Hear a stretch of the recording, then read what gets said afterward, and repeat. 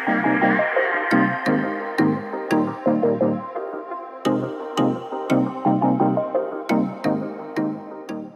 colleagues, I'm professor of Warsaw University of Technology with more than 50 years of academic experience in the field of measurement science and research ethics.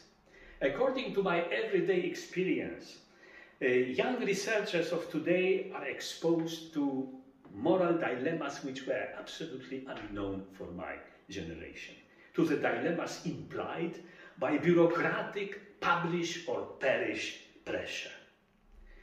When preparing a new research publication, uh, they are uh, dramatically forced to choose between acting in a way which is most beneficial for them, for their careers, or acting in a way which is most beneficial for the society. I'm not going to say for humanity. It is the responsibility of my generation to help you in passing through this difficult experience.